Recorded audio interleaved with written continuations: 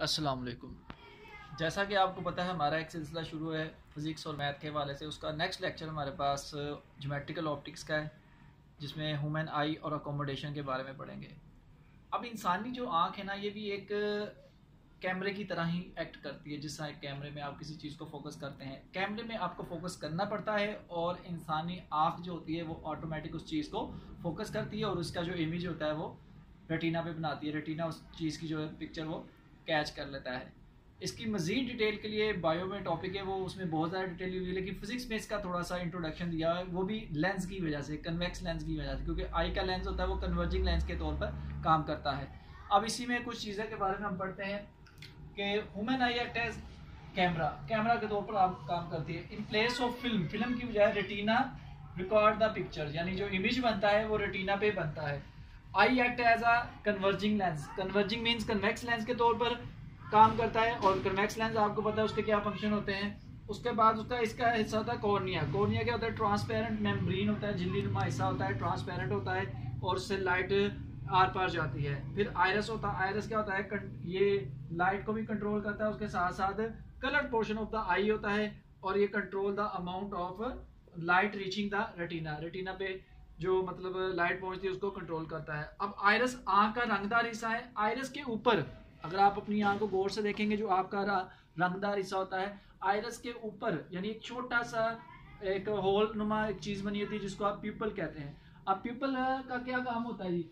Bright light में जो होता है पीपल का साइज़ कंट्रैक्ट हो जाता है और डिम लाइट में पीपल का साइज़ एनलार्ज हो जाता है। अब एनलार्ज कौन करता है? आयरस करता है। रंगदार हिस्सा जो आग का होता है, वो इसके साइज़ को लार्ज करता है और स्मॉल करता है। और इस तरह जो आग का इमेज है वो बन जाता है, ये जिस तरह ऑब्जेक्ट दी हुई ऑब्जेक्ट ये लेंस से पास हुई, ये रेटिना पे गई और एक सीधी पास हो जाएगी और यहाँ पे उसका इमेज बन जाएगा आपके पास। तो ये आपके पास एक छोटा सा इंट्रोडक्शन था, इंसानी आँख का, जिसमें चंद पॉइंट्स मैंने बनाए और उन पॉइंटों को आगे हेडिंग्स की सूरत में लिख लिया। आप डायरेक्ट भी लिख सकते हैं डायग्राम बनाएँगे और उस पॉइंटों के मेन मेन पॉइंट्स के बारे में बता देंगे। तो ये ह्यूमन आई है। और इसमें जो चेंज इन फोकल लेंथ होता है ना, वो ऑटोमेटिक होता है। अब वही जो अगला टॉपिक है हमारे पास, वो चेंज इन फोकल लेंथ है। उसको हम अकोमोडेशन कहते हैं।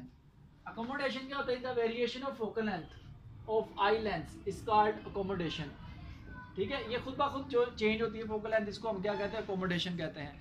अब ये जो अकोमोडेशन है ना, ये डिफरेंट पीपल में डिफरेंट होती है। यानी आपके पास अगर अवर एज पीपल्स हैं फिफ्टी सिक्सटी के हैं तो उनकी अकोमोडेशन डिफरेंट होगी।